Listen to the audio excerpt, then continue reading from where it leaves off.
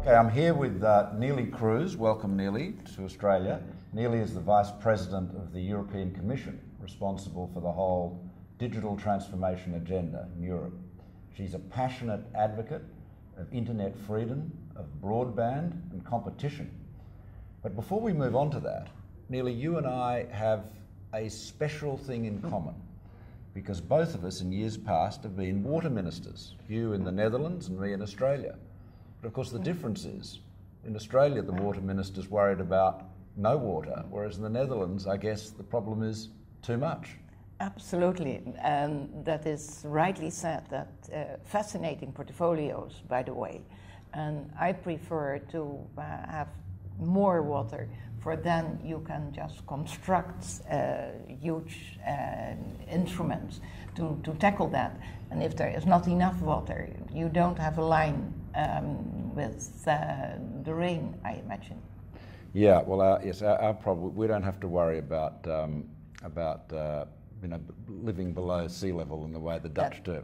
But let's move on to telecommunications. Uh, the big debate uh, about the future of the internet governance, with the US Department of Commerce proposing to um, withdraw from its role in the um, allocation of names and numbers, the IANA function.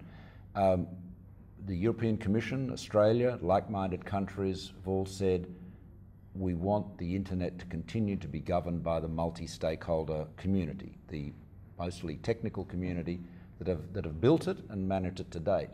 Uh, are you confident that the internet can remain free of government control?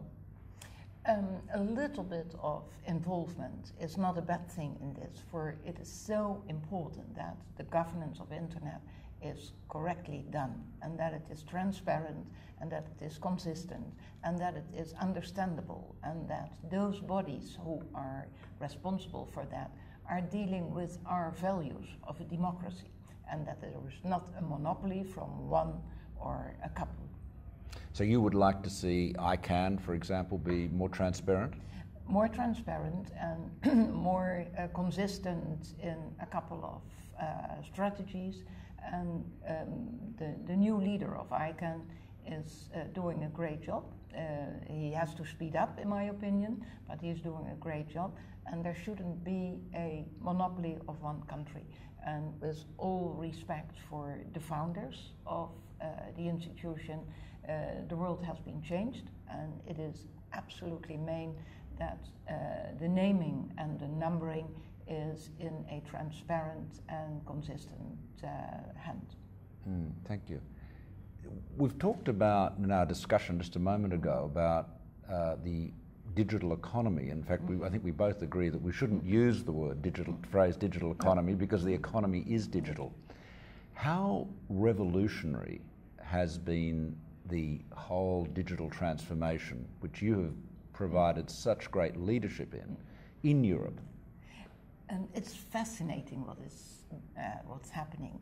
And just two examples in which I try to prove um, that it's not like it was yesterday. My youngest advisor is 11 year old. She's a Belgian girl and she is marvelous. She is advising me how to code and that all the European girls and boys should follow that uh, type of course. That it's not only reading and writing, but it's also coding.